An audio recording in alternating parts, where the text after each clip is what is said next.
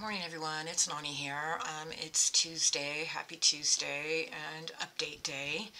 Um, it's a treasure island this morning, um, the island of family riches and the whole point of these treasure islands is to up your coins um, and also diamonds.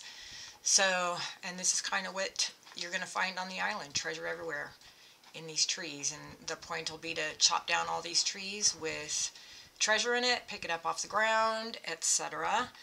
Um, and increase your coins and diamonds. So here's the completed map. Um, I'm not entirely done. I still have to chop this back portion down here and I'm out of energy pretty much so I'm going to go slowly for the rest of it but um, here's most of it and you can see that the black square there are these caskets there um, okay, I'll actually I'll get to that in a second. I'll tell you that at this point, not being done, um, I picked up about 3K in diamonds, 350,000 in coins, and 20,000 EXP so far.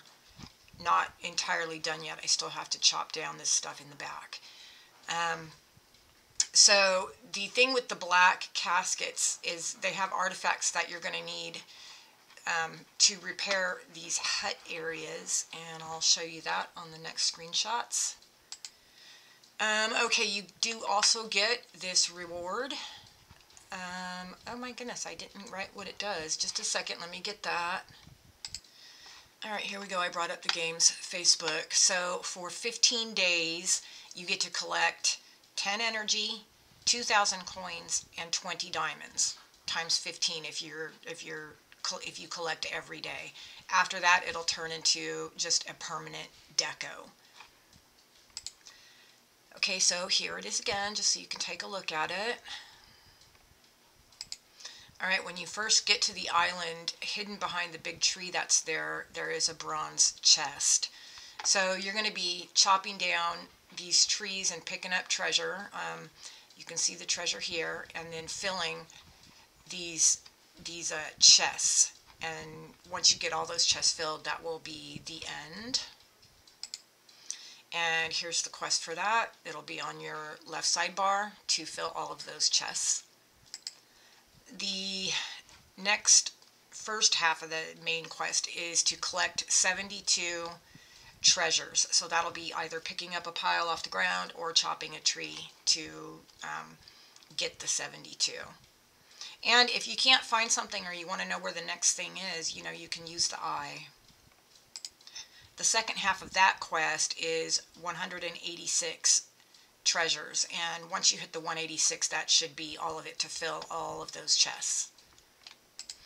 Okay, those black casket things that I had in a black square on the map, you're going to click on this little um, totem thingy and you'll have to give the artifacts that came out of those caskets and you will get a wish. And here's one of the wishes right here.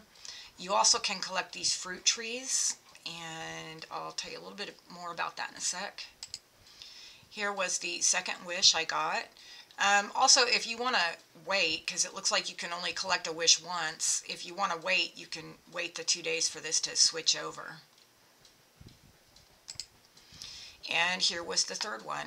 And that's a good one. Three purple lures. I went ahead and took that for this.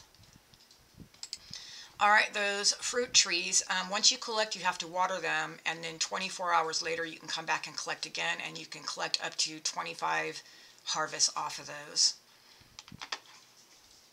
which is kind of silly because you don't have 25 days to um, to do that, but, you know, you can get 14 collects on it. Okay, so that's about it. It's just um, your standard treasure island. Oh, I forgot to say it was about 8,400, 8,500 energy to clear the whole thing.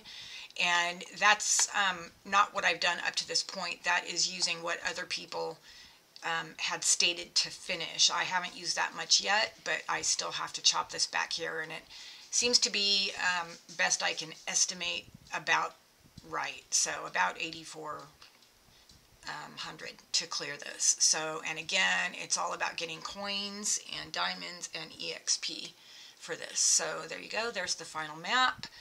Um, Okay, that's it. All right. Until I talk to you guys again, please don't forget to hit the like button and have a great Tuesday. Thank you so much.